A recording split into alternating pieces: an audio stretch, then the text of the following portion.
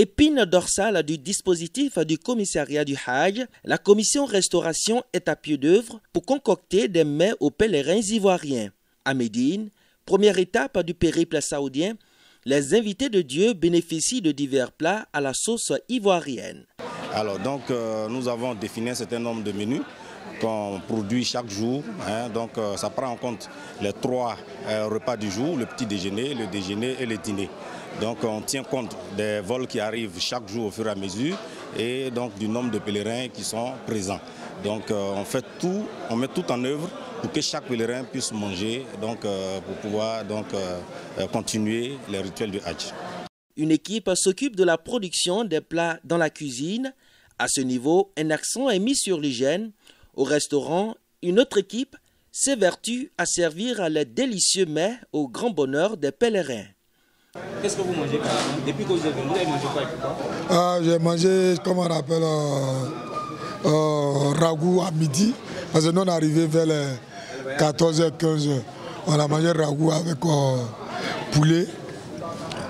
Après, on nous a donné café, le thé en bas. Maintenant, on, vient de donner, comment on appelle, tchepa avec le poisson. Vraiment, il n'y a rien à dire. Franchement, pour moi, c'est 100%. Quoi. Ouais, vraiment, on est très content pour la restauration. Je viens de Paris et je suis venu en Côte d'Ivoire pour prendre mon vol. Et là, depuis qu'on est arrivé, Alhamdulillah, on mange très bien et on est vraiment satisfait de la nourriture, ce qu'on nous donne. On est satisfait, on est toujours heureux. Actuellement, tu manges quoi? Bon, actuellement, je mange du riz avec poisson.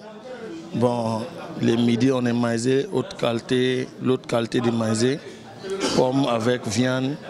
Bon, la nuit, on mange du riz avec poisson. Vraiment, alhamdulillah, ça s'est très bien passé. Vraiment, on remercie Dieu. Forte de 22 membres, la commission restauration assure qu'elle prend en compte les différentes observations, recommandations afin de bien nourrir les pèlerins de Médine à la Mecque en passant par Mina.